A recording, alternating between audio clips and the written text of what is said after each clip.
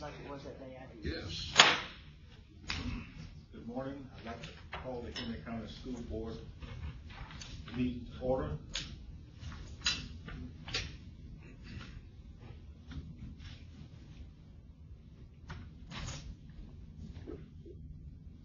I haven't did this for quite a while. Kind of forget. First thing we'll have is, uh, roll call.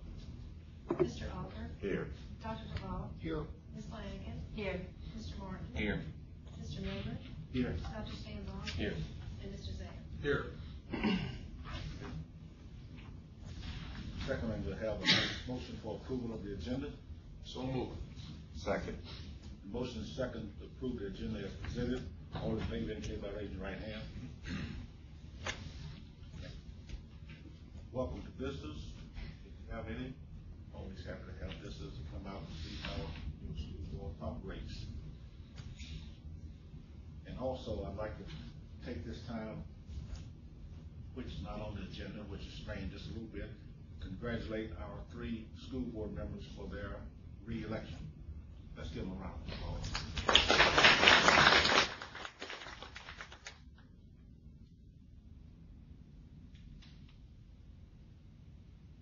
Next, we have the invocation and pledge of allegiance.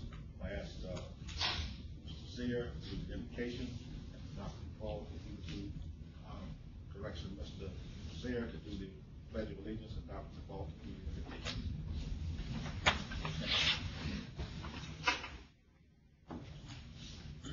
Heavenly Father, we give you thanks for this new day. We give you thanks for the many, many blessings that you continue to bestow here on us. And most importantly, we give you thanks for the gift of life itself, the most important gift. We ask uh, that your grace be shed on us today as we go through this meeting. May we approach the deliberations, the actions, the thoughts that we have in a way that would be pleasing to, to you. May all of our uh, actions and thoughts be directed toward improving the opportunities for the young people of Henry County and for the Henry County community in general. All of these things we ask in thy precious name. Amen. I pledge allegiance to the flag of the United States of America and to the republic for which it stands, one nation, under God, indivisible, with liberty and justice for all.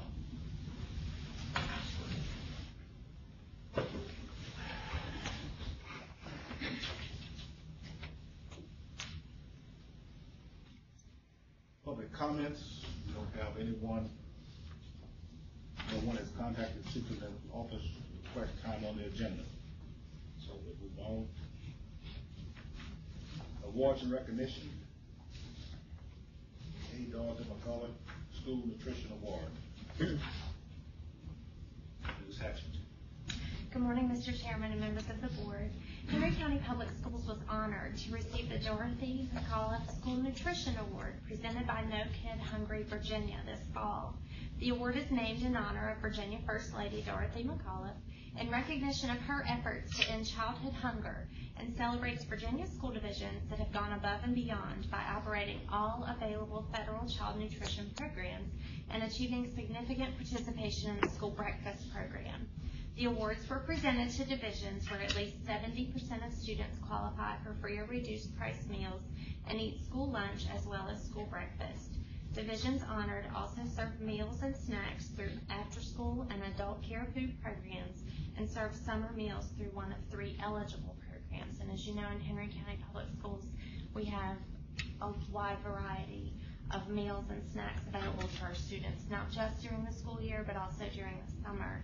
So Ms. Lexa is here this morning with the award, and we'd like to take a photo with Mr. Milner and Dr. Cotton.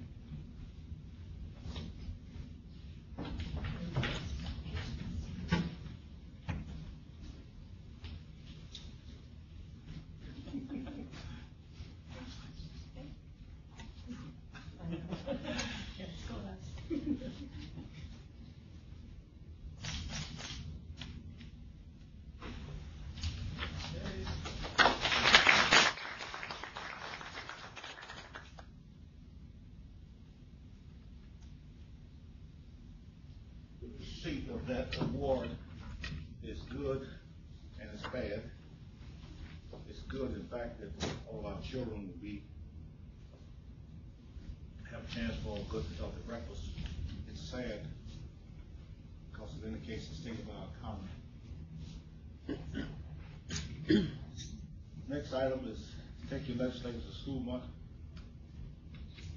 Each year, Virginia School Boards Association designates the month of November as Take Your Legislator to School Month.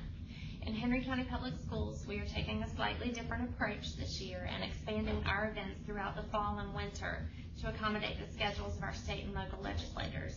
We're excited to share the great things happening in our schools with our legislators through events such as a Skype discussion session with Senator Tim Kaine at FC Middle School in October, and he has also expressed interest in doing that with several other classes throughout the course of the school year, so we're working to schedule that.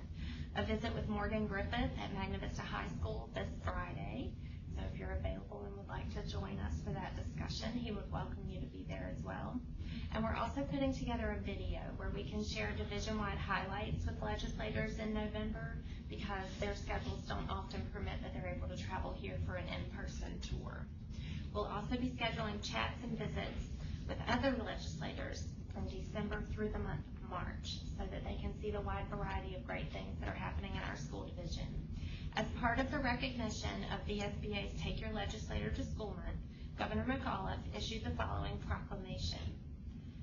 And it says, whereas it is critical that all students in Virginia are afforded the opportunity to receive a quality education in Virginia's public schools, and whereas a strong and effective public school system is essential to the economic prosperity of Virginia and ensures that we continue to make social, technological, and scientific advancements, and whereas school boards and legislators must work together to promote high academic standards and excellent facilities that help all of Virginia's students become productive, hardworking individuals, and whereas Virginia's school boards play a critical role in fostering close relationships between schools and legislators to strengthen and improve Virginia's public education system. And whereas the support of our legislators contributes significantly to the success and achievement of Virginia's public schools. And whereas Virginia School Boards Association Take Your Legislator to School Month serves as an opportunity to promote productive relationships between state legislators and their local education providers. And whereas VSBA Take Your Legislator to School Month is also an opportunity to acknowledge the hard work and dedication of the professionals working to strengthen Virginia's public schools. Now therefore, I, uh, Terence R. McAuliffe, do hereby recognize November 2017 as Virginia School Boards Association Take Your Legislator to School Month in the Commonwealth of Virginia, and I call this observance to the attention of all of our citizens. And again, we'll be working throughout the course of the fall and winter semesters to make sure that our legislators have the opportunity to see the great things happening in our schools. Thank you. Next on our on Disability Awareness Month. Mrs.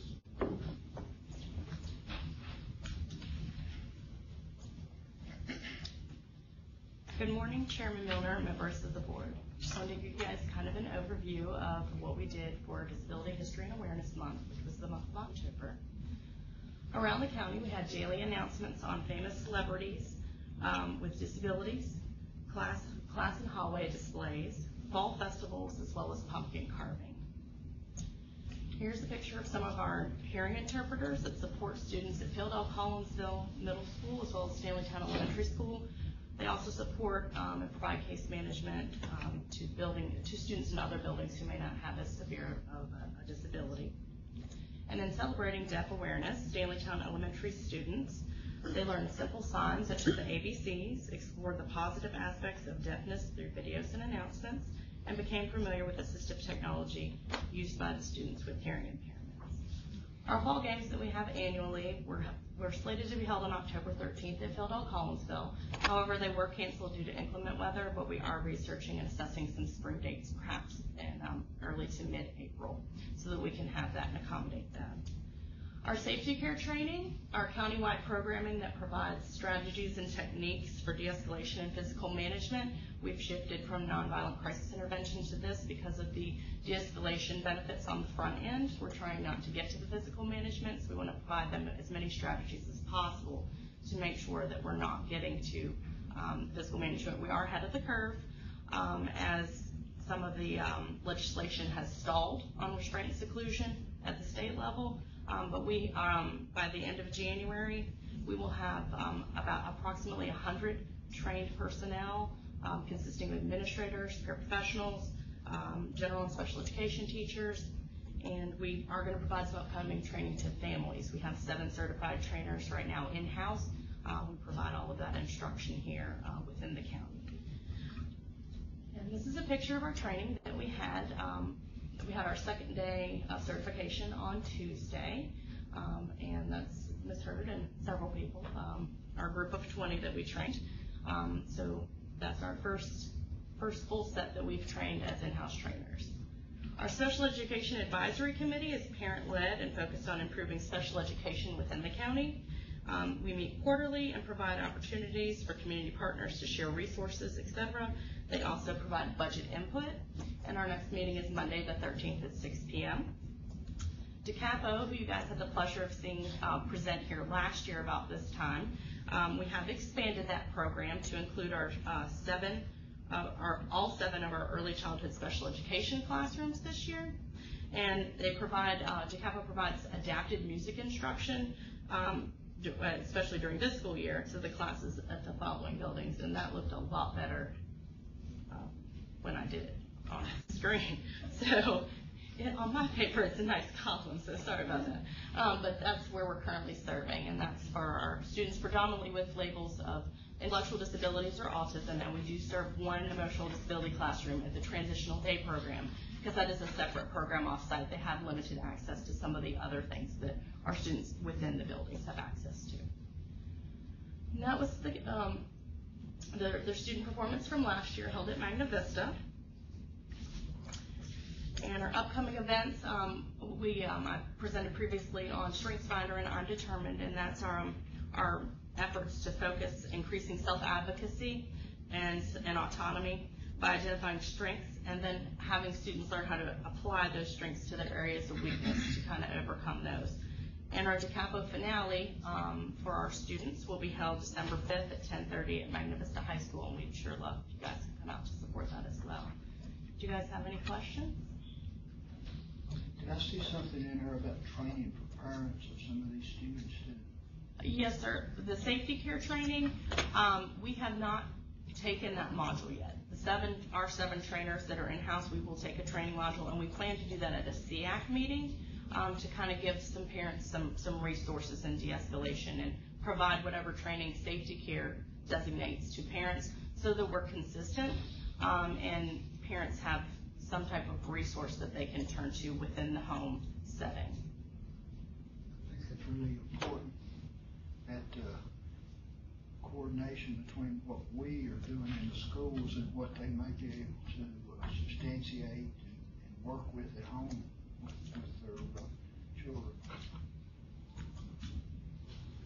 I noticed that we teach our children, or teach our children how to sign.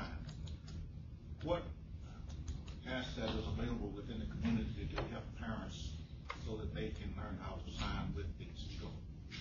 We have actually had a lot of discussions about this. Um, I have parents that are interested in possibly starting a, a parent group, um, and hopefully they're coming to the SEAC meeting so we can kind of bridge that gap and give them that um, community that they're kind of looking for. Um, my um, deaf education teacher, Ms. Clements, has pulled together some resources that we can provide parents that need access. The DOE has several resources. Um, as for actual classes, I've looked, I know PH has some classes, and there's some classes available in Roanoke as well. Um, and then I know that my parainterpreters and the teachers have worked with, with parents individually on an individual basis if they need some extra assistance in trying to, um, you know, partner them up with what will serve their needs. Thank you. Mm-hmm. Anybody else have any questions or comments, Ms. Root? Thank you. At this time, we should have a an update on Meadowview Elementary School, Mr. Keith Scott. Mr. Chairman, members of the school board, I'm pleased to share a few good updates for the Meadowview project as it's coming along. Um, Wing A, they've already begun setting some bathroom fixtures and the cabinet work uh, throughout the classrooms is, is underway. We've got uh, polished concrete work taking place on the first floor of Wing B. The uh, when I, at the time I submitted this agenda item, the uh, the weather had halted the work along Fixborough Road but since then, we had a little bit of good weather. They were able to get some asphalt down. Now it's been halted again. So it, it's some work taking place on that. They were able to get some base stone work done back in the back lot for the, um, uh, bus parking lot area. So, so they've been kind of bouncing around based on the weather area and it's working out okay.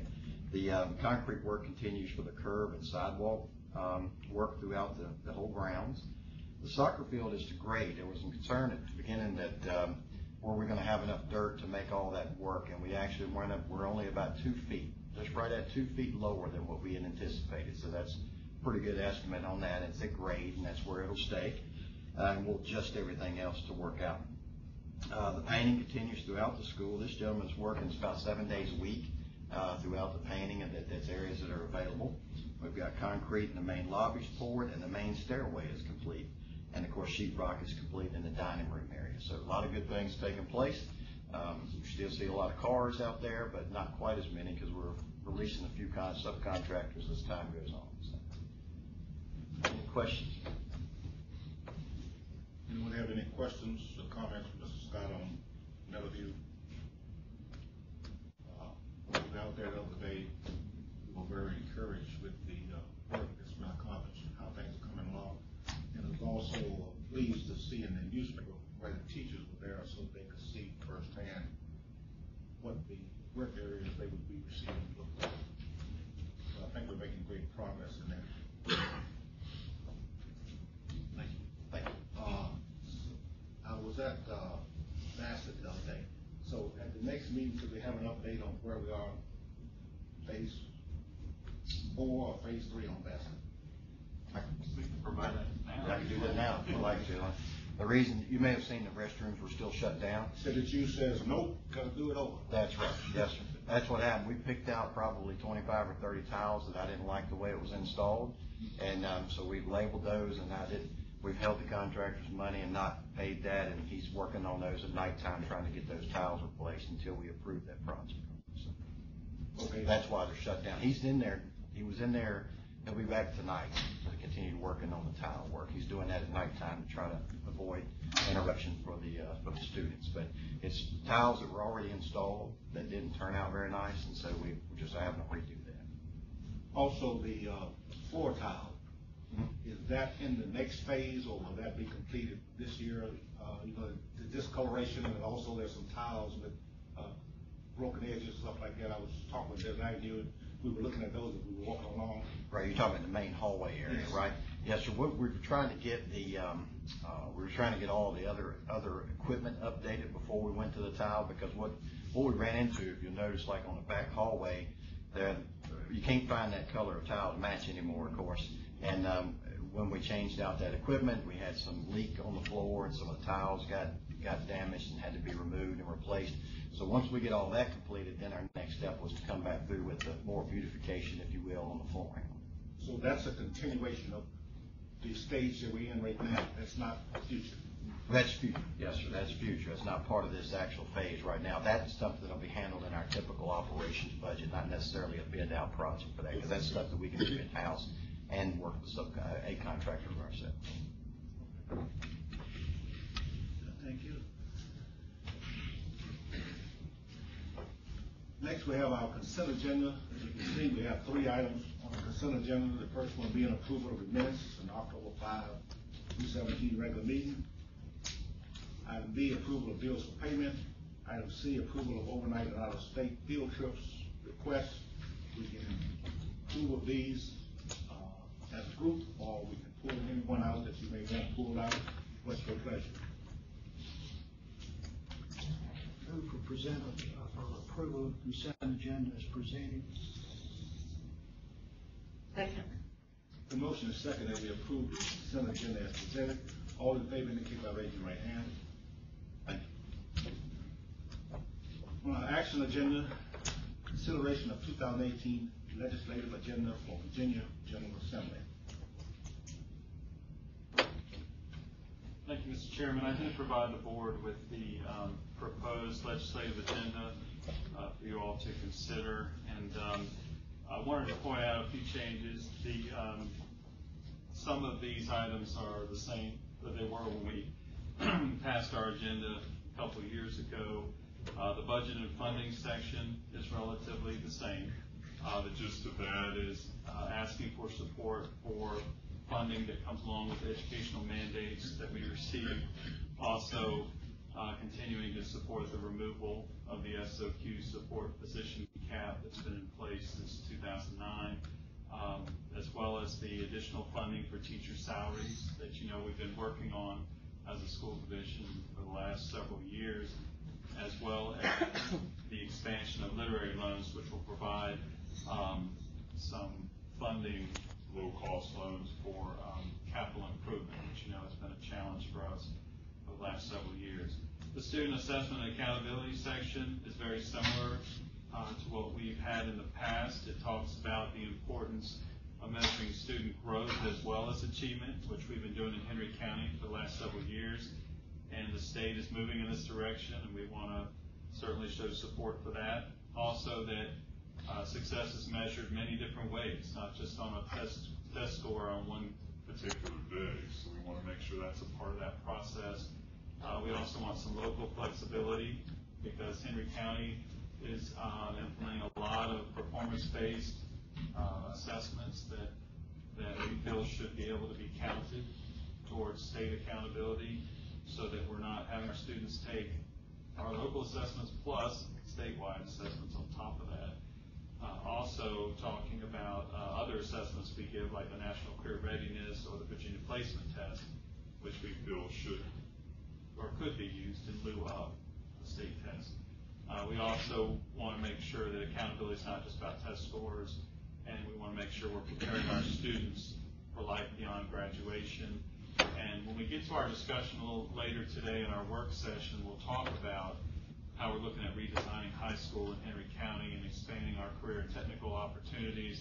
And we want to make sure the state supports us with these efforts because we know that we can't continue to do the same things we've always done and expect to prepare our students for life after high school.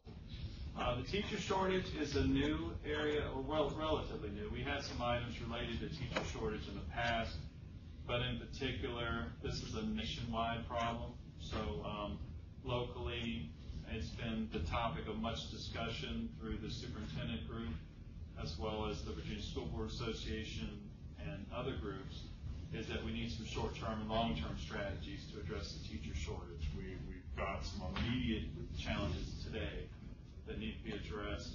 Uh, long-term, we need some more, um, some other options that need to be implemented over time. We also are talking about specific areas where we're in need of teachers who can teach STEM-related. Those are science, technology, engineering, and mathematics courses, as well as career and technical education. Um, we want to offer some of these courses. We don't have qualified staff who can uh, teach these courses, so that that's um, that means that we need some flexibility in hiring some folks there. We also have had a lot of trouble with the middle school endorsements.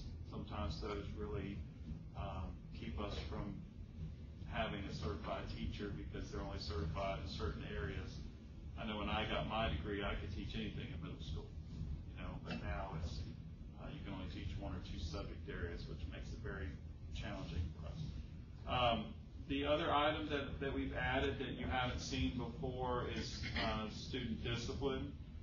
And the reason this is very important is because we are doing a lot of things to address student discipline in a positive manner, to decrease our suspensions and expulsions.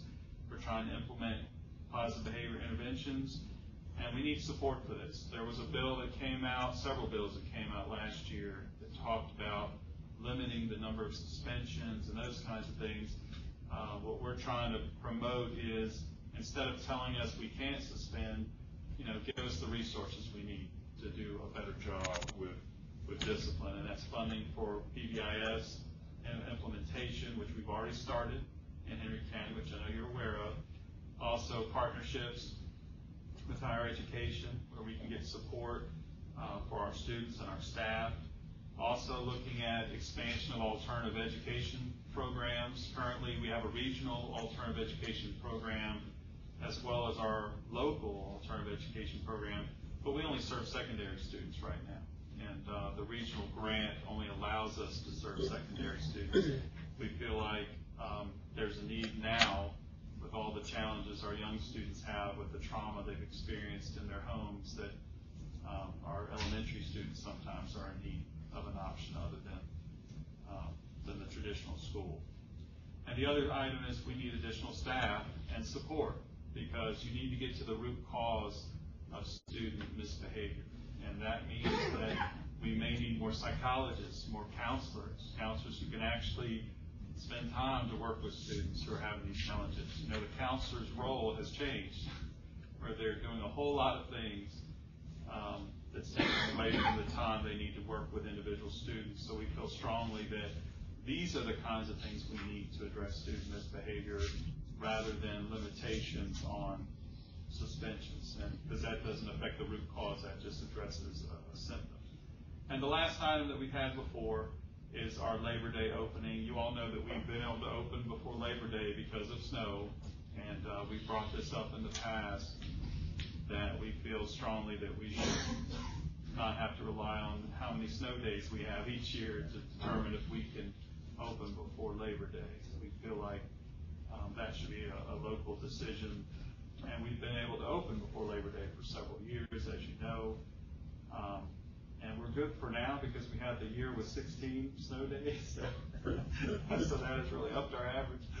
Um, but again, it's frustrating to have to worry about that. We, we prefer to to just be approved for a pre-Labor Day opening uh, without having to snow if you will. So thi- this is where we are now, and it's brought up for, for your consideration. Um, uh, I'd like to, I'd like for the board to approve at some point, whether you want to approve today or at some point in the future. The reason that it's important for us to have this is because when we talk with our legislators, when we meet with them, I'll give an example. I just met recently with uh, Senator Stanley, and uh, when we meet with our legislators, it's important for us to have something that we can hand to them and some talking points that we can, we can speak from so that we have a list of items that we want to advocate for as a local school division for our community and, our schools.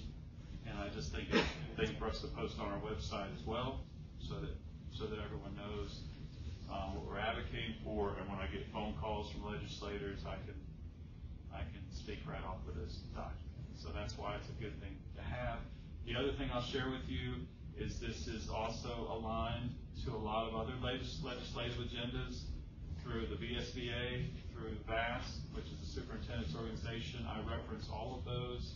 It's not exactly the same, but there are items in here, you know, that are similar, uh, which I think is important for you to know as well, that, that we do look at, we look at those as we prepare this. So I would love to get feedback from the board at this point on any changes, concerns, or, uh, or, or adjustments that you'd like to make, uh, at this time. You and your staff have done an excellent job. I was very impressed. This is a very thorough legislative agenda. And I I mean, it's about as close to perfect as you can get it. Just a question, not, not, not that would affect this, but, uh, the point you made there in being able to, uh, hire teachers who have the expertise in the field but aren't certified. Is that something that uh, is a legislative matter, or is that something you work through the school board, I mean, the state school board, uh, to address, uh, does that, ha- would that have to have legislative action? It- It's a two, two-pronged approach, really. Um, there are some areas where the Virginia Board of uh, Education and the Department of Ed can give us some flexibility. Uh, since we've been working through this process, there are, um, some areas where we, we have a little bit of flexibility already, but there are other areas that are, you know, Governed by legislation? governed by legislation that have, have to be addressed. And, uh, so really, we, we need to come at it uh, from both angles. I will tell you that this is a high priority uh, for the governor. I know the governor just hosted a teacher shortage summit uh, just last month where the focus was on uh, things that we can do. And some of the things they talked about were, can the local superintendent extend a provisional license from three to five years to give more time for, uh, if a teacher's doing a good job and, and they're, um, been effective in the classroom, or, or maybe it's, um, using experiences, uh, to apply towards a teacher license. But where you need to be careful is you don't want to lower the standard, you know, but what many superintendents have said is we've all hired teachers that don't have the exact credential, but they're doing an outstanding job, uh, with the content and working with students. So we want to have some local flexibility. So we need some immediate, as you all know, um, I think we're still short about three English teachers right now, uh, that we're, um, we haven't been able to fill. And we are much better off than many of our colleagues in this region. And I think it's because we start very early with our recruiting process. But we have colleagues, um, who are up to thirty teachers short at this point in the year. And, uh, we're fortunately not at that point, but, but we're all competing for the same pool. So, um, it, it's getting more and more challenging. During the recent, uh, election, quite a bit was brought up about a career and technical center. Uh, If I'm correct, I think that Danville, Pittsylvania County, and Franklin County have such. And you and I have talked about the possibility of going in with Martinsville, maybe to do such. Is that something that we need to look at now? Because in previous governors, the push was on college education.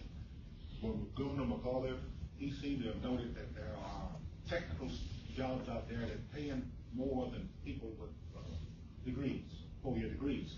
And so it's sort of been a switch. So, uh, is it possible that we can look farther into this? Maybe in the Career Technical Center in uh, Marshall slash Henry County? So actually, we're gonna talk about that a little bit later today, uh, during the work session, but, um, and I'll also tell you that we're having our initial strategic planning sessions with various groups, and that's the theme that's coming up from everybody. We need more trades, more vocational education opportunities. We are, uh, we're, as, as you know, we're working on CCL becoming a career academy for us, and we've already added cosmetology over there. And uh, as a part of our budget discussions, we're looking at moving some other programs over there. I have talked to Dr. Talley about ways that we can partner on some of those programs, and we've also talked about, uh, maybe there's a couple programs we can offer at Martinsville High School, we can open to, to our students across the board. So we have, uh, we've had some initial conversations, we haven't worked out details about that, but, uh, he's very interested in partnering, and, um, I'm very interested in expanding our career and tech options. And what a lot of people don't realize is we have a lot of career and tech options already in our schools. So we need to do a better job of communicating that, because I hear people saying all the time that we don't have career and tech programs. We do. Uh, what we're trying to do is we want to take them to the next level. We want to have some advanced opportunities, which we'll talk about in our work session today. And part of that is working with Patrick Henry Community College, because we're talking about a public safety academy, an IT academy that we've had available for years. We can't get students to sign up. That's the other thing that we're, we're fighting, that people don't always understand. The fire uh, and EMT program, you know, I've had people tell me many times, why did you take that program away? We never took that program away.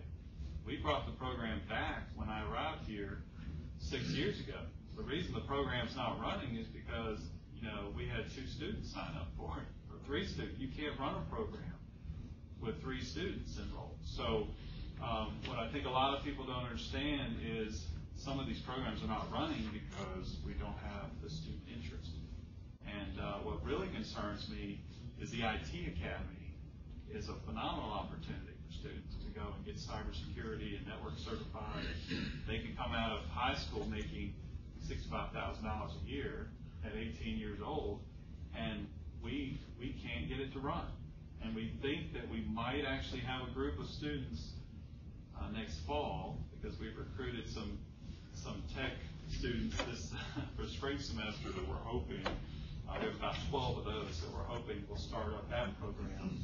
Um, But we all need to work on getting the word out that these opportunities are here, we just need them to take advantage of it, you know. The expression, if you build it, they will come. Uh, we build it and they're not always coming. So we need to figure out a way, uh, to get them to come to that, um, to those opportunities. And something else that's happened prior to your, we noticed now that there's a uh, nurse shortage. And we had the nursing program in the school. And, uh, I think the last year of the eight or ten students in the class, only three of them were our students, the rest were. So, uh, We talked about the nursing program, and a matter of fact, uh, again, I don't want to steal too much of our thunder for, uh, the work session coming up, but, um, we wanted to run the nursing program, and we continue to run into roadblocks, but where I think we're finally, um, going to land is, um, Patrick Henry's gonna work with us on a, a health sciences, um, academy where the students can get all of their prerequisites taken care of through high school so that they'd be very competitive, because I understand it's very competitive to get into the Patrick Henry nursing program. But our students will have the ability to get all of their prerequisites, their anatomy, physiology, and, and many of their prerequisites done prior to enrollment at Patrick Henry, so that would put them in good standing. And then, of course, the other exciting thing that we'll talk about is we're understanding that Sovah Health will provide some funding to not only help our students with internships, but also uh, help pay for our students' education, which we're going to talk about uh, here in a little while. So uh, we have a work session today on our uh, future plans for career and technical education. And, uh, back when you were talking about teacher shortage, I've been talking to, uh, well, really five different people that were professionals. And I've mentioned the career switcher program and they never heard of it. I, I don't think we're doing enough to get that information out to the public about the career switcher program. Sure, we, uh, you know, what we did is, and I, I, I- it's a shame that Mrs. Landon's not here, uh, but, uh, Mrs. Strayer could talk about this too, but, uh, we, we do our, um, recruitment fair, a job fair, and what we've added to that particular job fair is we, we have information we provide on the Career Switcher program, and when we do all of our advertising for that, um, job fair, we talk about, even if you don't have the certification, come learn about the Career Switcher program, and did you want to talk about that at all? Anything to add to that? I think we're, uh, um, but we're, we're working on that, and we've been, we talked about it on our television show, right? So we're, we're doing what we can to recruit, because we have people show up to the job fair they don't have the credential, but in career and technical education, you can get certified based on experience in particular, because, uh, uh, we can hire people who have experience in the field. Uh, so there's some flexibility there as well. So we're trying to get the word out that even though you don't have a certification yet in teaching, we can work with you on helping you make that happen. in this legislative agenda, I think it's very important that we all have a copy of this, keep it, because, uh, I don't know how I got on it, but I'm on a email list with some of the legislators like Marshall and Adams and Stanley, and they send me emails from time to time, and, and we need to use those to let them, keep them abreast of what we're really looking for. I totally agree, and it helps you stay on topic when, um, you know, we have some conferences coming up where I think you all are gonna get a chance to talk with some legislators, so. Anytime you can them something, and I will tell you, I've met with legislators recently, and I don't get to talk about all these things during that meeting, but I can leave them with a copy. And they've all told me they will read it, and they've assured me that they will take it into account, so I think that's why it's important that we have something like this. Mr. Chairman, I'll offer a motion that we approve the proposed legislative agenda. Second. The Motion is second that we approve the legislative agenda as presented. All in favor indicate by raising your right hand. Thank you very much. This time, we'll move on into the superintendent's monthly highlights report. Thank you, Mr. Chairman. I'm proud that we have some highlights uh, for the month of October. Uh, The first item, the four Cs. Students at Axton Elementary recently had the opportunity to use several of the four Cs when working together to complete STEM activities in the library. Mrs. Mead led students in these innovative and engaging STEM activities to enhance students' critical thinking skills. Swimming. Campbell Court Elementary's first graders took a trip to the Martinsville YMCA to take part in the Swim It program in October. This program provides first grade students an introductory course in how to master the basics of swimming. The program also builds each child's confidence by mastering something that at first may be frightening, but by the end of the course, they are swimming on their own and loving it. And This is such a great partnership with the YMCA that we're very proud to offer our students. Uh, we're all in this together. Technology staff members Beth Williamson and Alex Clifton taught and assisted Ms. Tucker's class at Council Primary with iPads recently. Students were able to problem solve and got an authentic hands-on insight into the IT world. Rainy Day Picnic. Students at Drewry Mason Elementary School kicked off the year with their annual back-to-school cookout at a recent PTA meeting. Families made the most of the event despite rainy weather and enjoyed sharing a meal together in the school hallways. Passport to the Universe. G.W. Carver hosted a STEM week during the month of October. The program Apollo to the Moon showcased a detailed and detailed the history of, the, of NASA and the development of the space program from, from, for students in grades 1 through 5. Students also experienced the interactive science world the Dome Theater, which included Into the Deep, Moons, and Passport to the Universe. To conclude the week's celebration, students and families were invited to take part in STEM night with varying classroom activities and inter- interactive modules set up in the gym. Marble roll. Fourth grade students at John Redd Smith Elementary worked collaboratively on a marble roll recently. Students discussed how friction would change a marble's speed depending on the material the marble was rolled across and tested a variety of bases to gather comparative data for group analysis. At school and on the road, Mount Olivet students were treated to STEM activities at school and on the road in October. First grade students took a field trip to the Greensboro Science Center and STEM coordinator Phyllis Mead visited the library to meet with the students of all grade levels to provide hands-on activities that required collaboration and persistence. Book Retreat. October was an exciting month for Rich Acres Elementary students. Magna Vista football players and cheerleaders visited on October 6th to read stories to the children and fielded a variety of questions from the future warriors. Family night for the month of October was a book retreat event. Students and their families decked out in costume visited each classroom to receive treats, including a book from each child's teacher. Superhero shout out. First and third grade students at Sanville have their art displayed in the school's Hall of Art this month. The third grade, the third graders created an image of themselves as superheroes. During the body drawing steps, they discussed how to use simple shapes as a basis for a complex shape. The background illustrates contrast between darker and lighter colors. Mr. Kendall's colleagues recognized him, recognized him earlier this school year by giving him the first Sanville Superhero Shout Out for his work helping students with fine motor skills, math, reading, and school routines. Deaf Awareness Week. To celebrate Deaf Awareness Week, students at Stanleytown Elementary learned simple signs such as the alphabet, watched videos, and heard announcements highlighting the positive aspects of deafness and viewed instruments and assistive devices used by deaf individuals. Fifth grade students also heard a presentation about deafness and asked questions to help them better understand and relate to their classmates. A penny for your thoughts. Students in Beverly Cecil's sixth grade science class at FC Middle School were engaged as they used lab technology and safety procedures to study the properties of water during the month of October. The students, researchers, student researchers conducted a series of lab experiments and logged their data on their iPads to share with the class during a lab debrief session at the end of the unit. It's alive.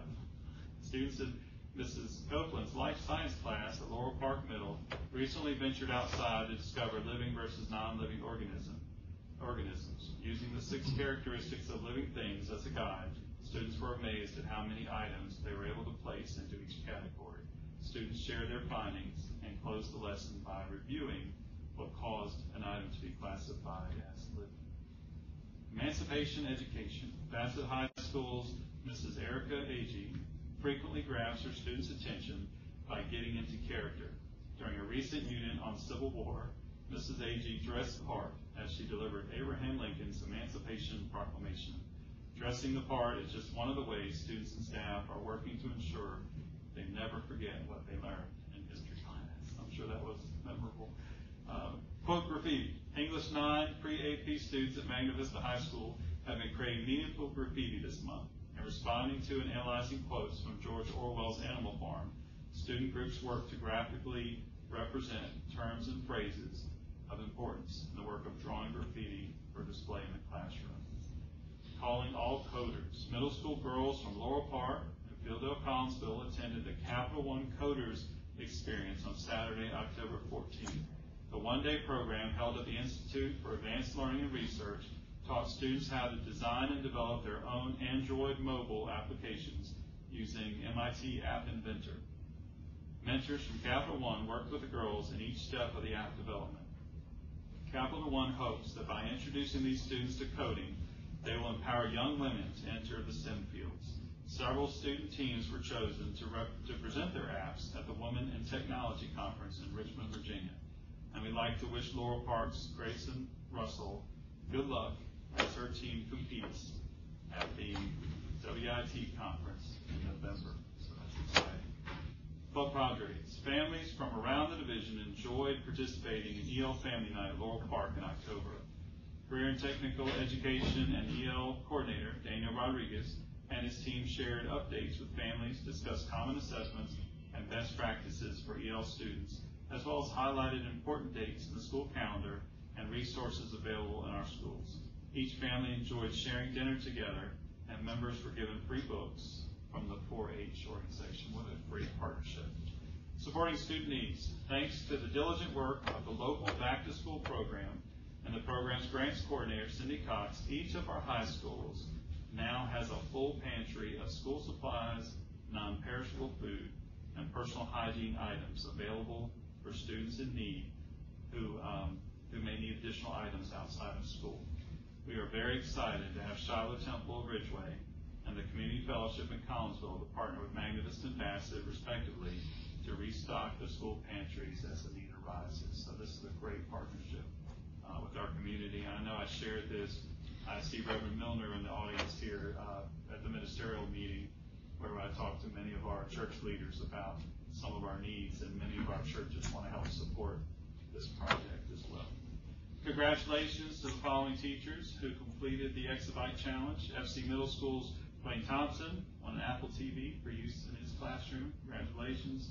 Mount Olivet Elementary School's April Peters won a flat panel TV for use in her classroom. FC Middle School's Amy Ferguson on an Apple TV for use in her classroom. And Drewry Mason Elementary School's Ashley Cox on a document camera for use in her classroom. So congratulations to all of those teachers who are taking a risk and using new technology with their students. Mr. Chairman, members of the board, this does complete my highlight report. I have other items in the, um, my section that I'll be glad to answer any questions about if you have any. Any questions or comments on the superintendent's monthly highlight report?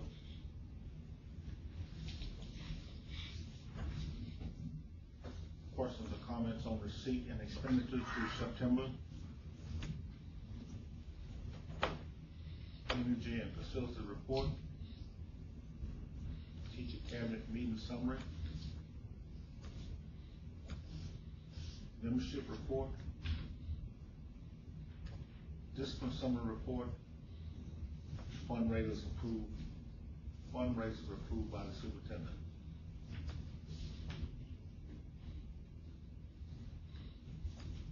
Thank you. We move along to, uh, matters from the board. Mr. Chairman, uh, the recent election for governor, I, I would offer a motion that we ask Dr. Cotton to write Governor-elect Northam a congratulatory letter. And uh, we look forward to working with him and we need his help. Uh, us more money to do what's gotta be done in the school system. Thank Second. that is a motion. Do I hear a second? Second. The motion is second that a letter be sent to a governor-elect from the school system, uh, him and ask him for continued asking for his support in the upcoming uh, four years. Uh, Any further comments on this? All in favor indicate by raising your right hand. Thank you.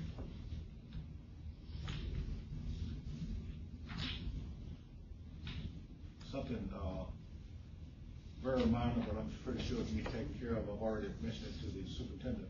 I was visited uh, FC, looked at their new uh, greenhouse, uh, very nice. Uh, When I was talking with the principal and uh, asked if there was any vandalism going on, she said there was a little. I think with that new feature out there, I think a fence is needed on that hillside because she said that there's an apartment complex at the top of the hill. So, something we could consider, and I'm pretty sure it's it's not that mind-boggling or upset our budget that much, but something I'd like for us to look at, possibly doing. Mr. Chairman, that's something that we're, we'll be looking at because we, even before that greenhouse was there, um, we've had people kind of come through those woods and appear in the back of the building, so that's something we're already talking about. thing. We observed back uh, years ago at uh, Mount Olivet and also at uh, GW College with uh, quite a deer population, and some of the little deer will just wander out, and the children don't know. They go out there, and then there come the mother. So, you know, I think it's very protective that we do this. We move on into meetings and events. Uh, holidays, 23, 24, December seventh is our next monthly meeting. Uh, On a momentous occasion, Curtis Mills' last monthly meeting. Be a holiday for the students, Dr. Khan, or what? You might have to take a day off. Oh, okay. For staff. And uh, January fourth, annual reorganization.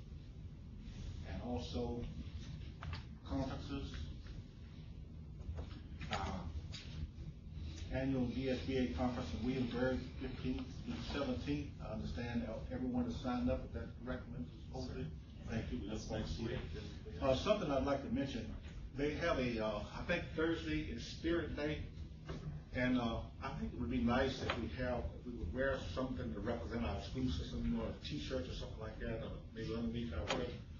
Anything that, because I know sometimes complete school districts, all dressed alike, supporting their school district. And I think that we are as proud of our school district as anyone is, probably more than some of them. And I think it'd be nice if we have something like this, that if we don't have any of those T-shirts, I'm pretty sure there's T-shirts around somewhere with Henry County Schools on it. You know, Maybe you wear it underneath your jacket if you don't, like me, I'm too skinny to wear a T-shirt as an outer garment, but you know. I don't have that problem. I prefer pink. What do you think? Sounds good. Mrs. Flanagan? But, but something to think about. I know there's one day where we're all wearing the support public education T-shirts, right? Is that a, is that the sixty?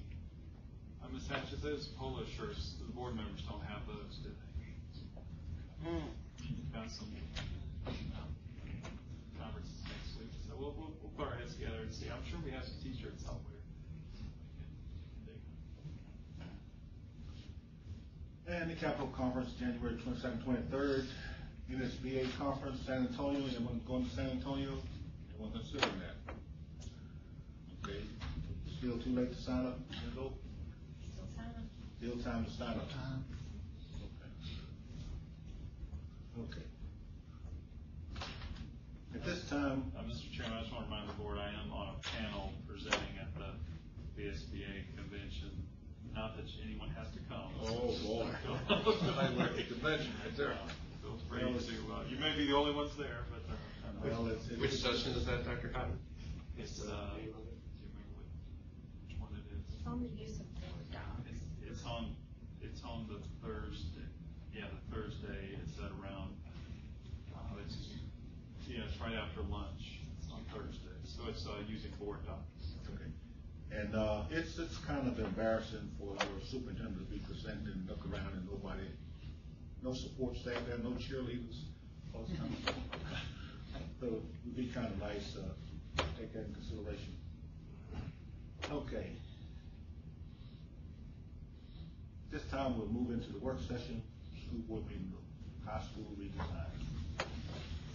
Thank you, Mr. Chairman. Um, Mr. Mender is here to talk to you about our high school redesign, and the reason it's so important that we do this today is because uh, Mr. Mentor and Mr.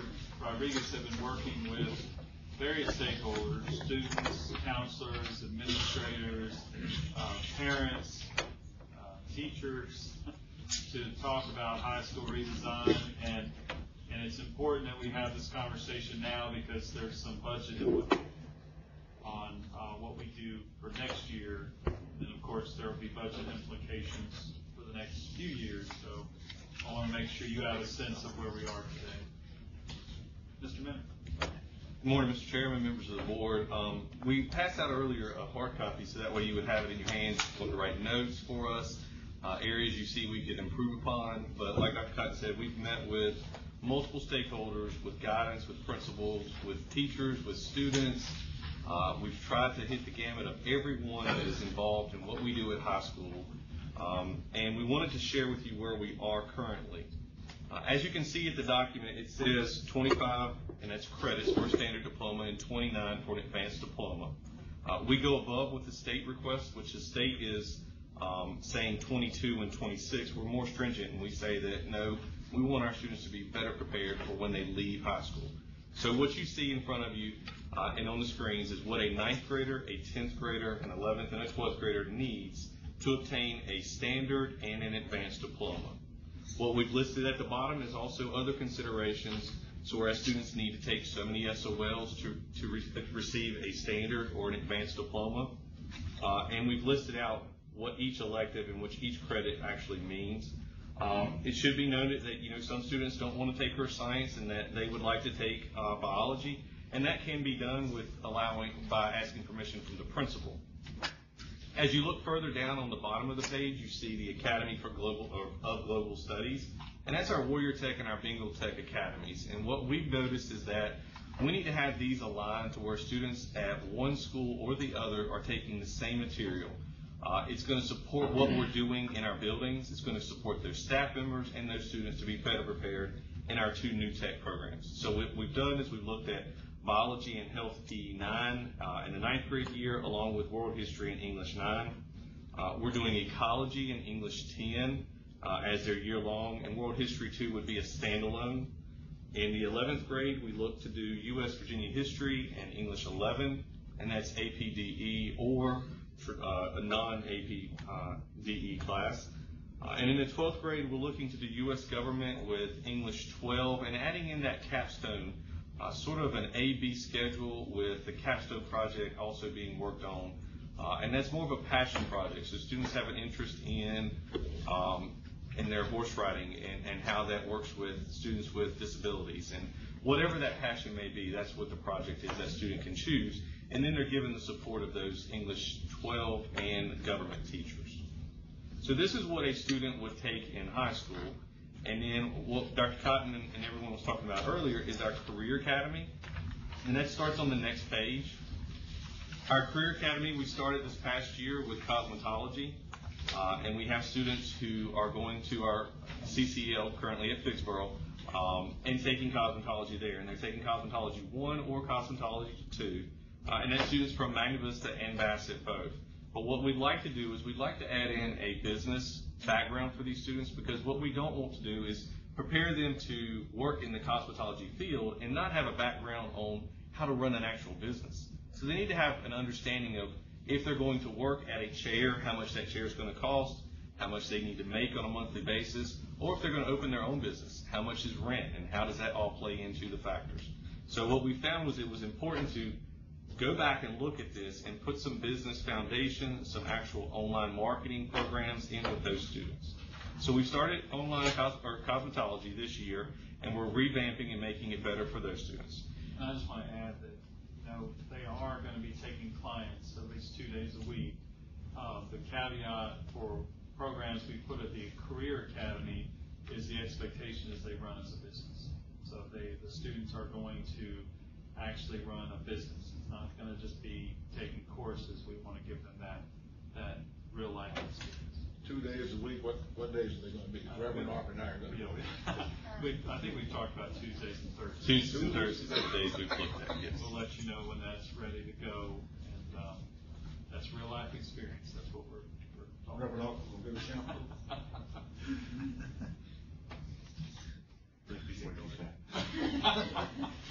Sorry, I, I was keeping notes. Uh, Well, like I've said, when we move to the Career Academy, we want, we want those students to open their own businesses or to have that business foundation while they're there. Um, Future Educators is something we already currently do.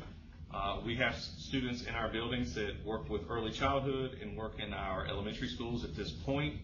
Uh, We're looking at possibly having those students go two blocks off campus uh, in their junior slash senior year, depending on where they're at in the program, and going and working with teachers, and those teachers actually assisting the teachers at the high school with how they're doing mid-year and final reports. Um, They'll serve as students uh, for the teacher to help as as an aid aspect and to kind of build our own educators. Um, And a lot of the pictures that you saw earlier, those are educators from this area who come back to this area, uh, like many in this room, uh, who feel like it's important to work with students in our community. Uh, What we'd like to do in the future, around 21, 22, is to actually have a preschool class in both of our high schools. And what currently, so some students do not have transportation. Uh, This eliminates any roadblocks for students who don't have transportation on a daily basis. They can go down the hallway and work with students in a preschool class with that early childhood uh, educator and with that, um, that actual teacher that would be teaching preschool students in our high schools. Uh, This is something for the future, but as you can see, we're already doing this right now. And like. Cotton said, this is about promoting what we're doing and making it better and rising to the next level. Uh, As you scroll on down, you can see motorsports. We currently already have motorsports in our buildings, and we work with PH uh, in a collaboration, working in the Arrington building um, again now. Uh, And we're working with students in motorsports and in automotive technology. Uh, And these students are given an opportunity in their junior and senior year to go to Patrick Henry Community College or the Arrington site uh, and work on different aspects of how to work with auto body and, and technical aspects of um, a car engine. Uh, we've actually spoken with other Martinsville individuals as well about how we can work on just auto body because that's a different aspect of mechanicals with the car. So we're, we're looking into those avenues as well and maybe partnering with Martinsville on a different type of class that would be in the same field but a, a different specific career. As you flip to the next page, you can see what we're looking to implement uh, in the coming year, 1819, and that is computer science. In the spring of this year, we have around 13 students at Bassett and 10 at Magna Vista who will be helping run a help desk, and they'll be our tech squad, uh, working with teachers and students regarding different technological uh, devices, uh, working with PowerPoint, working with Excel documents, and working with teachers to vamp up what revamp what they're doing in their classrooms. If a teacher is struggling with how do I use my smart board to connect to certain devices, uh, then these students will actually help them. But they will be given uh, troubleshooting areas in which they will go into our buildings and work with our teachers and our other staff members to improve what we're doing.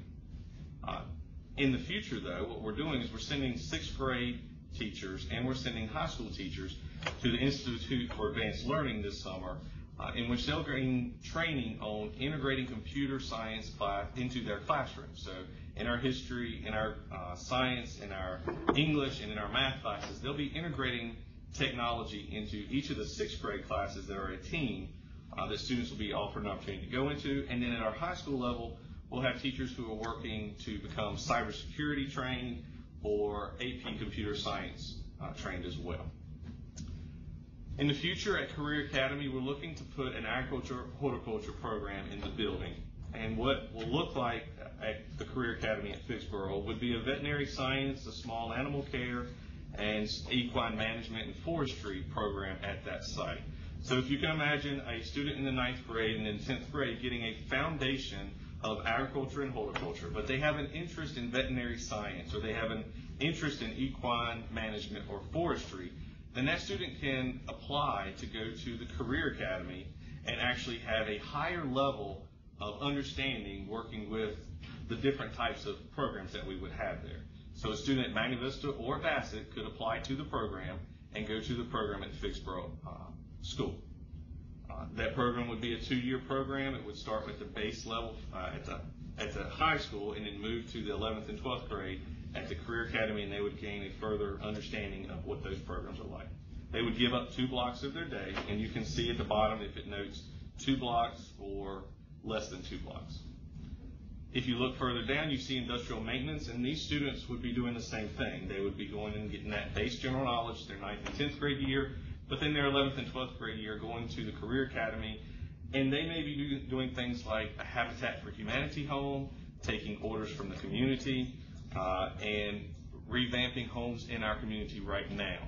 Uh, so in both of these, you can see where students would have that business world in their in their building. They would be taking orders. Um, people who need to have their animals checked out could go there, uh, working with the SPCA, with local uh, veterinary services as well. They're going to gain real world experience working within our community uh, to solve problems and gaining that firsthand knowledge of what it's like in the field they're interested in. The benefit to these programs is if they're not interested in it in the coming years, and they know that before they go to college and make decisions. The next program, which we'll be able to start next year, we've confirmed that with Patrick Henry, uh, is public safety. As we all know, we're looking at, at, the future, and we will have a prison that will be opening here in the near future. These students will gain legal studies in our buildings, uh, gain CPR first aid certifications uh, in our buildings, and then they'll move to PH and they'll start law enforcement and EMT and firefighting. So the program we already offer, but we have not had enough to take, we're putting a new spin on it. So we're going to have EMT, firefighting, and law enforcement.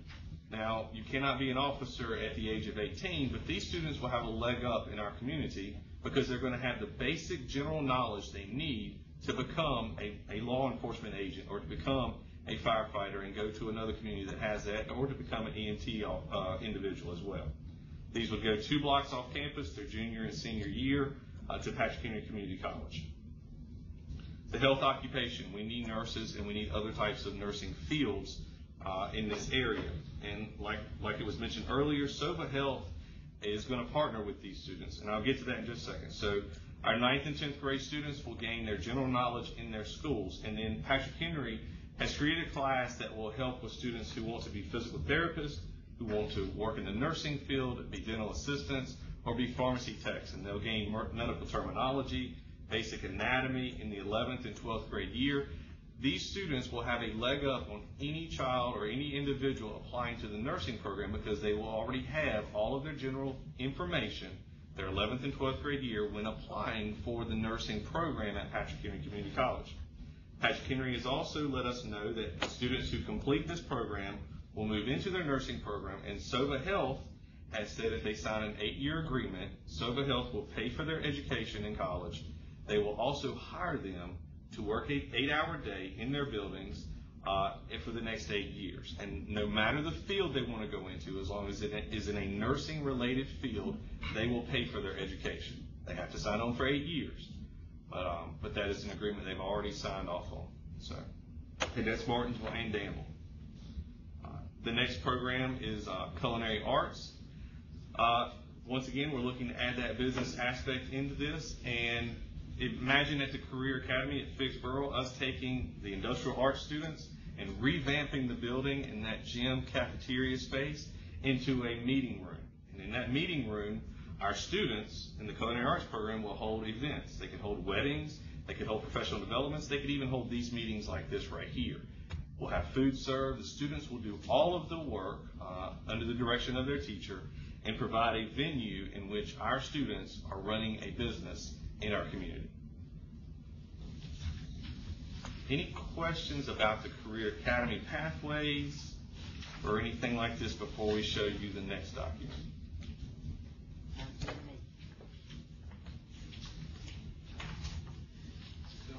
right track?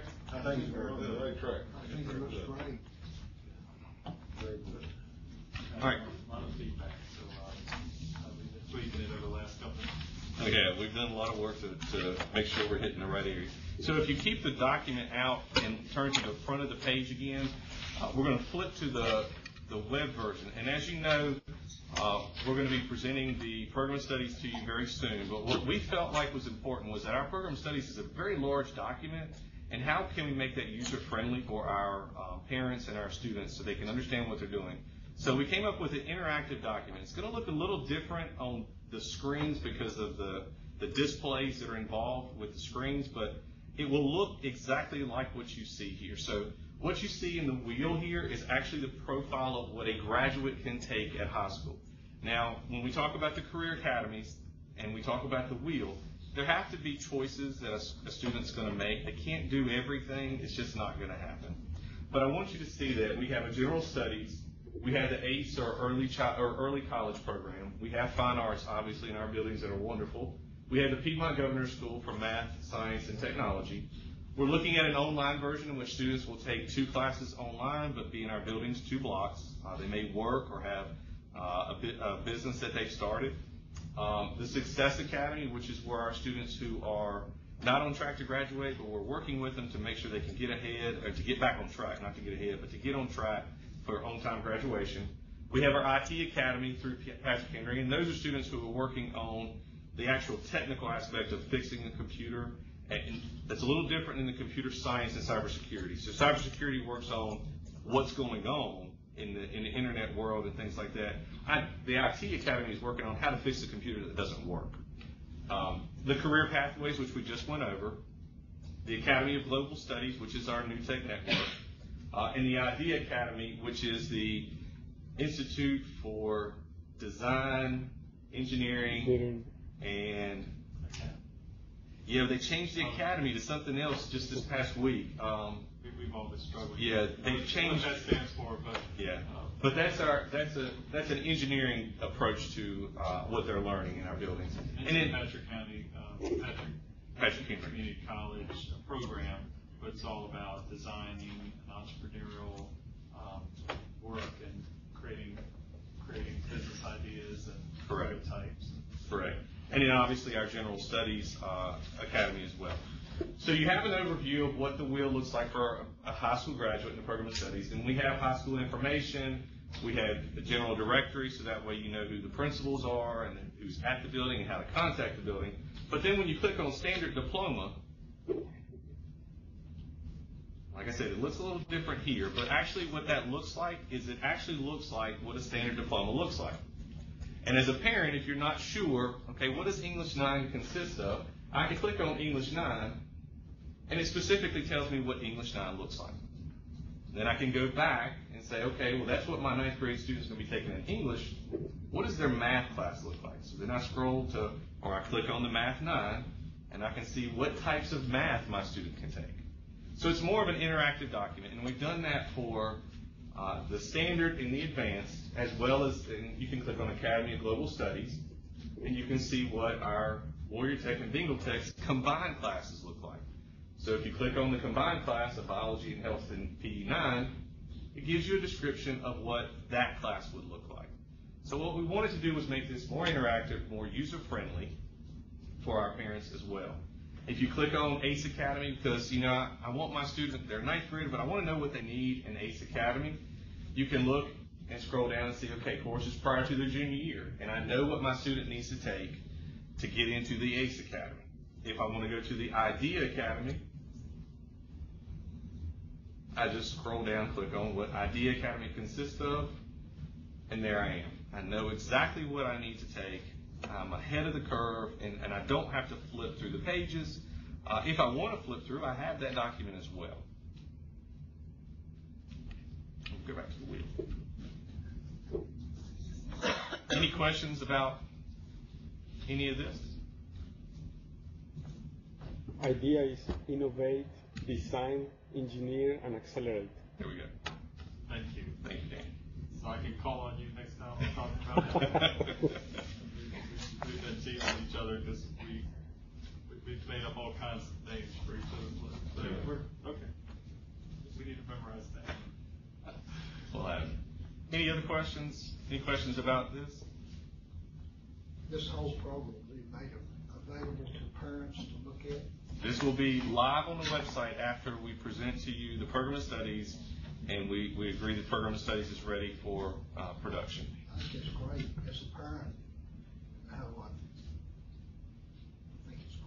We may have to provide, if it were me, I had to be provided some training to to do all it. Yeah, and that's been part of the talking po- points as well, is when we're having students meet with guidance counselors, having a guidance counselor sit down with them and show them that picture of, okay, you're on the standard, this is what you're thinking about doing.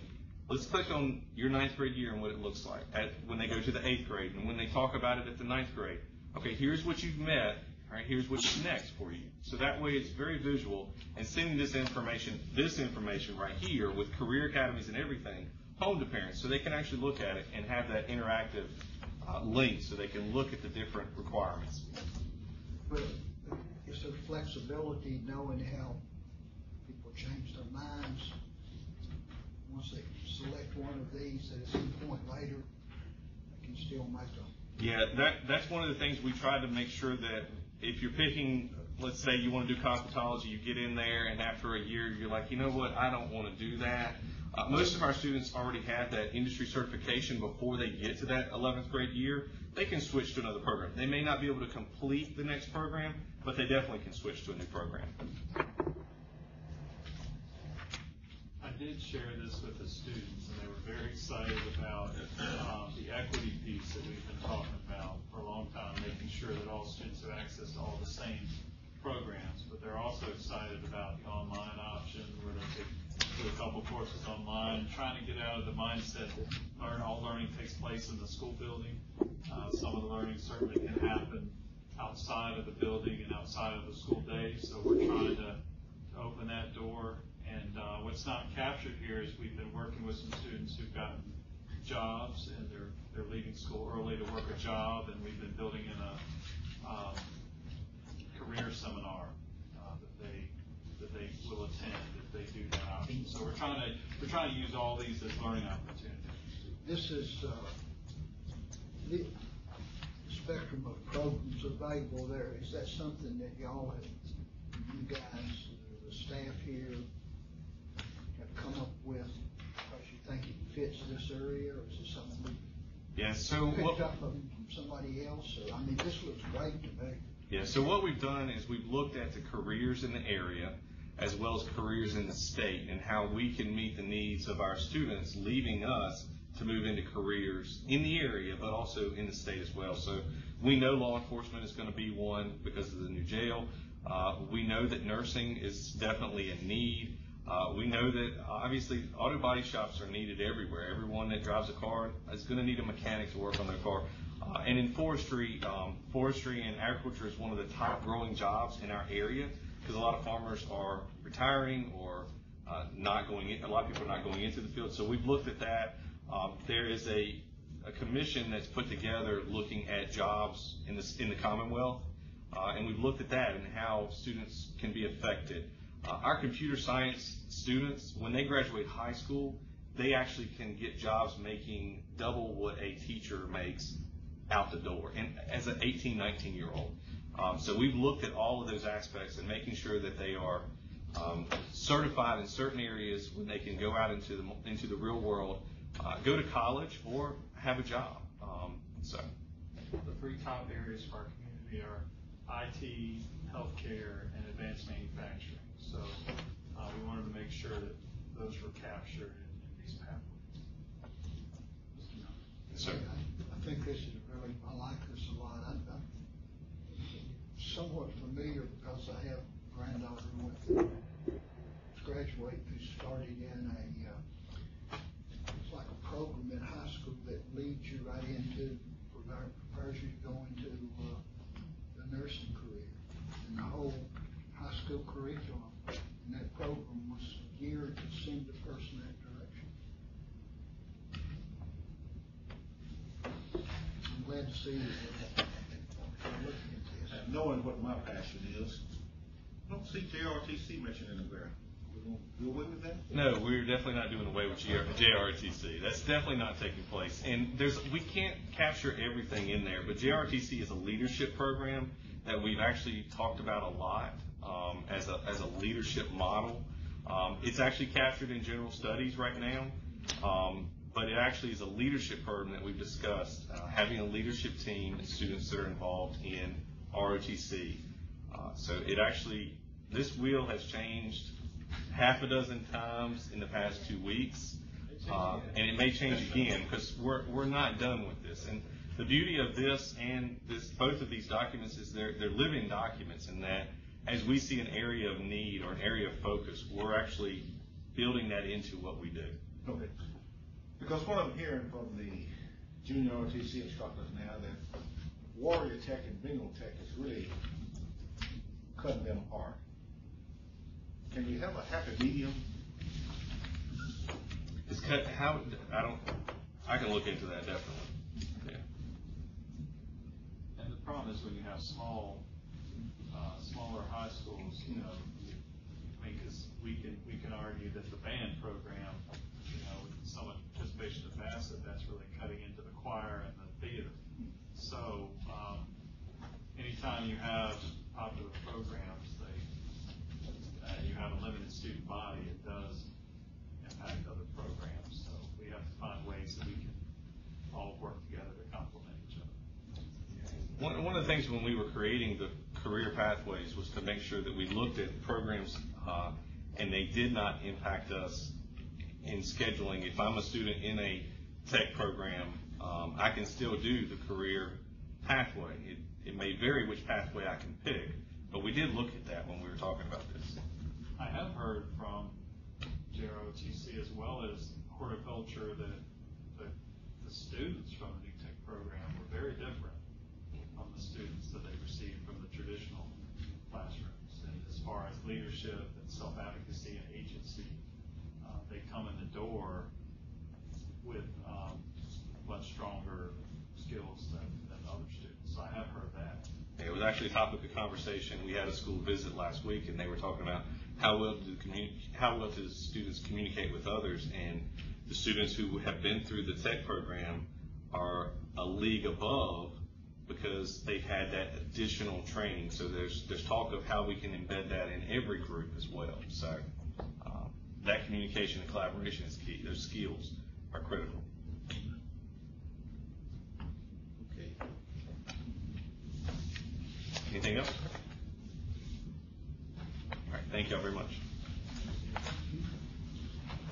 The work you guys and I'm sure other, Good work, good work. other staff members have, have participated and were involved in parents and students and teachers. I think everybody's had a crack at that. Yeah, just about everybody has, definitely. Well, I think it's important, particularly that teachers are involved in this too, because if it's gonna be successful, they have, they have to support it also. Right. And Sometimes it's hard to support something that, uh, you, you didn't have a part in. Right. So I applaud you for involving them also. I'm also uh, happy to hear that there's a chance that, and that you realize that students' expectations change as they progress through the year. Uh, I had the unfortunate incident as a high school student to enroll in the program, and when I get to the tenth grade, I realized that, uh, I'm not college bound. I wanted to switch. He says, no, you're stuck with it. Right. That's, it. No, that can't happen. We have to have flexibility. Okay. We do, we do have programs where students have to, I mean, in the DUTEC program, they, we ask them to stick it out for at least a year because they're year-long courses, but they can get out after that.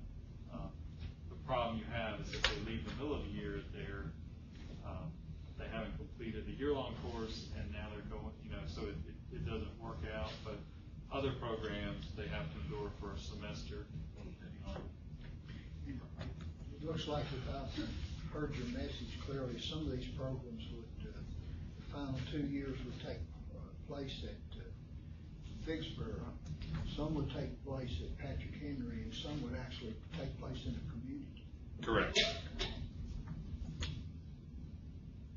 Yeah, we already have a house that we need to flip, and that's the one that we bought with our Meadowview property, so I think that might be our first project first. Mr. Chairman, uh, we do have another item. Budget update. Okay, great, thank you. Uh, the budget update, uh, I don't have a lot to share with you today, uh, but I did want to, um, uh, just go through, uh, as a reminder, we have our budget priorities that are listed here, uh, that we approved under each goal. I'm not sure what's happening there on the screen. but, Do you uh, want the remote? I'd love to have the remote. That would make my life a lot easier, thank you. Is there a reason why that's on the bottom of the screen?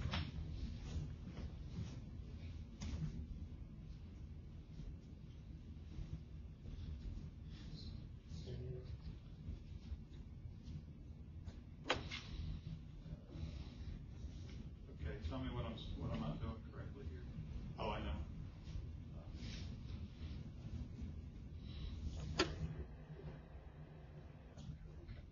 I don't know why it's coming in stages here, but these are our, um, goals voted on under high-quality instruction, the monitor and implement, and implementation of instructional initiatives to provide students, um, with a rigorous, relevant instructional program, um, making sure that we create engaging learning environments for our students that promotes college and career readiness, which again, I heard a lot from our strategic planning groups.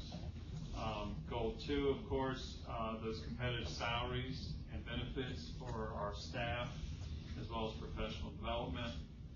Yeah, I'm not sure what's going on with this right now, but, uh, goal three, we have some kind of automation on here. Goal three is gonna be your safe and orderly learning environment, and then goal four is cutting edge technology, and then family is goal five. These are our current strategic plan goals that we've aligned to our budget priorities. Uh, just wanna tell you where we are right now as far as our budget process. We have, uh, you know, we did approve the budget calendar. Uh, I have received all of the requests from departments and principals uh, with budget requests, and the senior leadership has been going through these diligently to determine our priorities. Talking about our next steps, we are um, completing this review, and we're creating a short list of items that are on the list for budget. We're also um, trying to come up with some estimates based on staffing projections.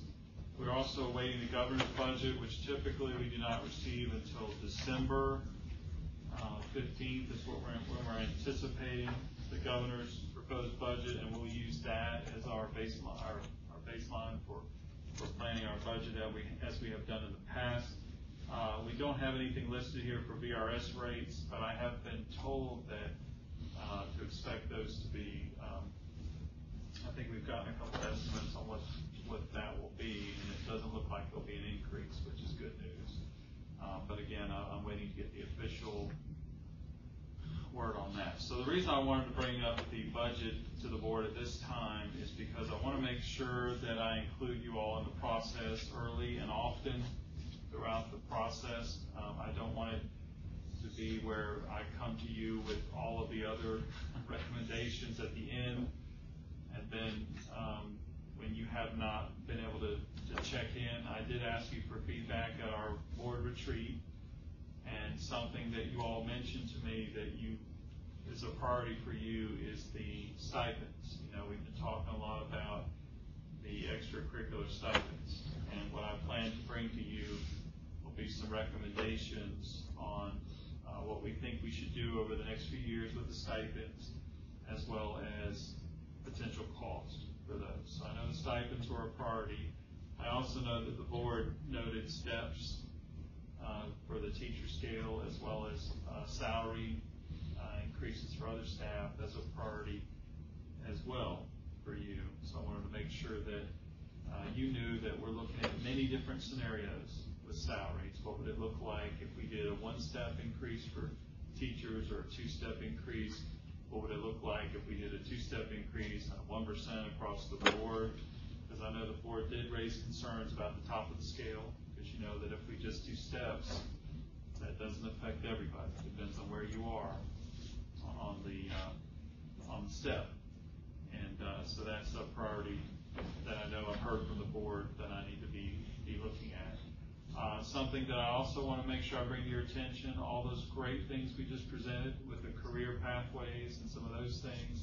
Um, we are working diligently to get equity across the board. And I thought we had achieved equity this year, but unfortunately, Patrick Henry Community College had some retirements happen, and that created, uh, a- an issue.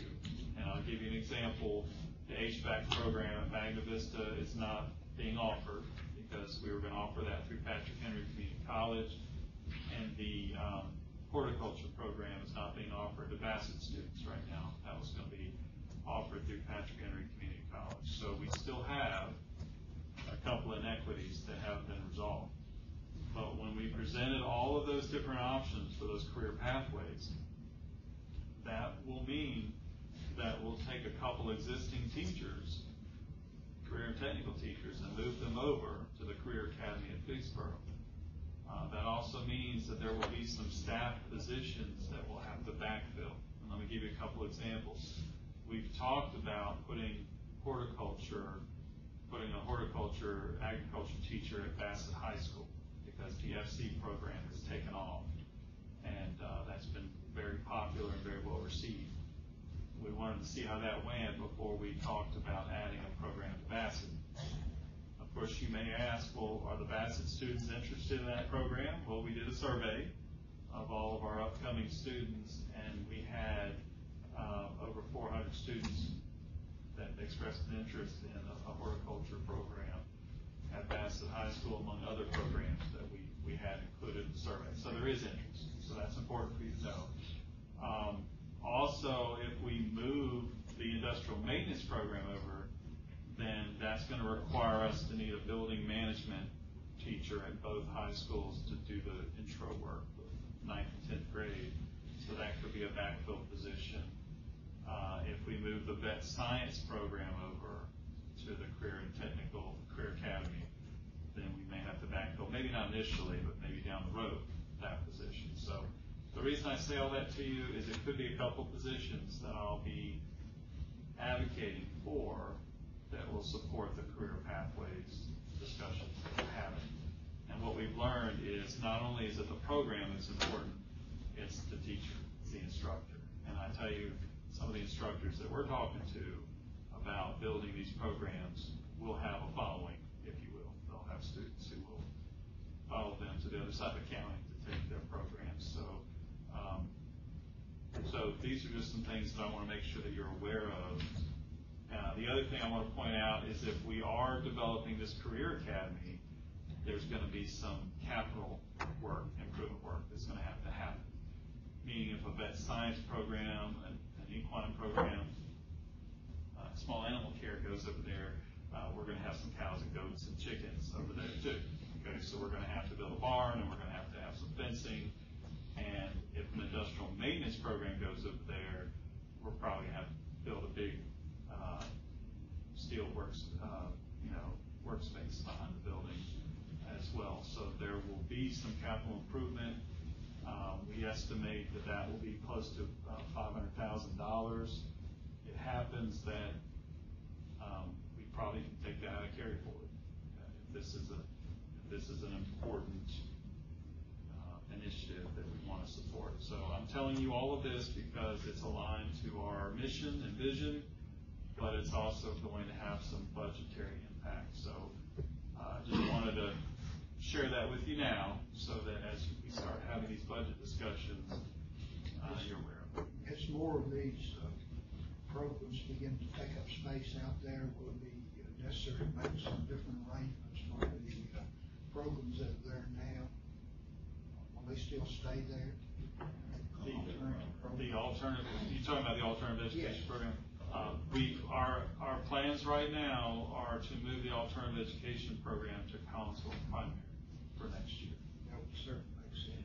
And we would move our adult ed, our alternative education, our regional program. The only real work we have to do over there is, um, we have little ba- little toilets, right, little bathrooms, so we have to upgrade those. Uh, because they're for little people. Uh, but other than that, um, we'll have ample space over there, and it's more centrally located, uh, so we feel like that, that makes sense. So you're right, and, and, it- and the Figsboro site is not a huge building, but there's a lot of land available for us, so, um, we are feeling like in the, the next several years, we can accommodate some of the programs that are going over there. And, um, we also may be able to accommodate some programs at Collinsville Primary down the road if we need to, so that's just something to to think about. So I share all that with you to kind of tell you where, uh, where we are in the budget process. I want to make sure I've captured your priorities, and if I haven't, uh, I appreciate you kind of letting me know if I'm off target or if I need to add something to my list, because I don't want to, I don't want to not address your, your priorities as, as we move through this process. So I'll open it up to the board at this time. Any, any, any items you'd like to add, or, or if you'd like to affirm that I'm on the right track? Did you mention uh, adding a capital improvement line or a capital? I didn't, but thank you for saying that. Um, uh, that, that is an item that I, I'm going to be looking at, is adding some additional capital improvement added to the yearly budget. And I I mean, I know we've talked about that through the years, but after having kind of a close call about our carry forward last year and essentially being directed by at least one member of the Board of Supervisors that that's how we should approach that, I would strongly encourage us to add that. I mean, how much we put in that item obviously is open for debate and uh, in combination with the rest of the budget, but I think we do need that line. Yeah, my initial thoughts were, um, about five hundred thousand in, in there. Um, what that would do is that would give us guaranteed access to up to a million dollars in additional capital, because we have a guarantee, even though the carry forward is not additional, it's our savings. But at least it would give us guaranteed access to up to a million dollars a year, and then that might be a starting point? I'm glad that Dr. Stormbach brought that up because that was one item of discussion in the Iriswood District on the school board and the supervisor, is the need for a capital improvement line. And, uh, that's something, uh, something long range, perhaps maybe short range. But back, uh, when we had the five high schools, we decided to consolidate into two. We decided then, the old school board, and Ms. Flanagan remember that, was that we would use the money saved to upgrade all of our existing facilities. Fortunately, we started on the east end, we worked to the west. We got as far as Collinsville and, uh, John Redd, and we ran out of money. So we finally got John Redd and Collinsville going. But we still have Sanville.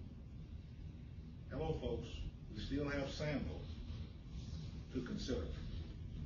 And also, while we're working on this, the fact that uh, G.W. Carver, cafeteria and kitchen, the kitchen, G.W. Carver is the largest elementary school in the area now. It has the smallest kitchen space of any of our cafeterias. So let's keep in mind that when we're moving forward with our improvements. Mr. Miller, you just named the, the top two capital improvement projects uh, that are on our list behind, behind the Bassett work that we're doing. But you're exactly right. We need to expand that at GW Carver. Need to make a, a a decision about Sanville. I know some of our initial conversations have been to do some, some lower cost upgrades to Sanville um, for the time being, and then determine um, at some point in the future our next steps, because we know the Sandville project, I think, is close to five million if we really did it the way that we um, need to do it. But, but uh, what Keith and I have talked about is, can we do some upgrades with flooring and and painting and upgrade classrooms? And I'm happy that they've moved all of the classrooms into the building. Now, the only things going on in the portables are the uh, itinerant classes or the um, extra support uh, classes where they're always supervised, traveling with, a, with an adult. And I know that we've also been working on putting fencing up out there. To- because we still have to worry about popularity of Dollar General. Some people are walking through property to get to Dollar General. So so we've talked about, um, fencing up there. Um, but we're looking at doing some, some upgrades to improve the learning space. Uh, but you're exactly right, we need to make some decisions on what we're gonna do for Sanville, because we, ideally, we, we don't wanna have any portables out there.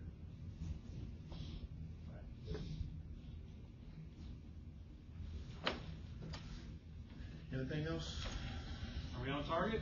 I think so. The only other thing, you know, a lot of my other thoughts have been mentioned by the board members, but uh, how short are we on bus drivers? Because I, I know I've seen the posts many times of, you know, we're looking, hunting, needing. I'm glad you said that. Um, we are, um, at a critical point right now with our bus drivers, and we are, we've been there for a while. So some of the discussions we're having that will have budget implications is we are really gonna have to look at our, our extra trip rate that we pay our bus drivers, um, because we're having a difficult time getting them to run uh, athletic events, extracurricular, as well as during the day runs. And we have not addressed those, the hourly rates in a long time. We're also looking at a need for maybe a, a certain number of full-time drivers that we can use to do all these extra runs, uh, because you gotta be careful when you give them extra runs. If they go over a certain number of hours, you have to provide health insurance.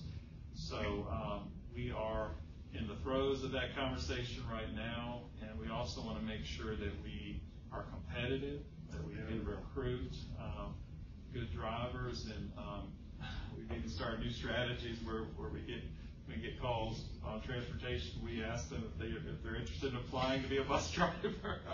Uh, we, we've actually, we've tried everything that we could think of. Uh, we're recruiting people all over the community and, and we're hoping, uh, I I laugh a little bit because I was standing with Mr. Zaire and Dr. Ball at a football game and I tried to recruit a parent to be a bus driver, I think. Uh, so we're all, we're all on the point right now where we're trying to do everything we can think of to recruit, but, but that's going to possibly have budgetary, uh, I'm almost sure that it will. And top of our consideration when we're thinking about that is that whatever we do, we're gonna be competing with our surrounding jurisdictions, because they all too have a shortage of bus drivers.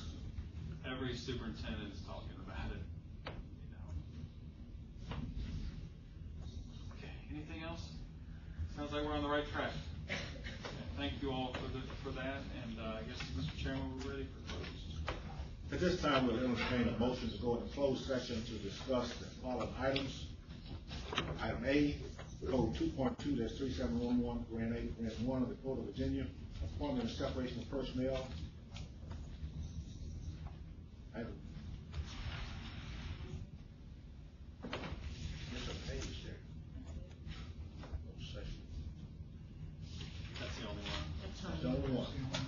So moved. The motion is second that we go in the closed session to discuss the aforementioned items. All in favor, indicate by raising your right hand. We'll take about five minutes, about five minutes break.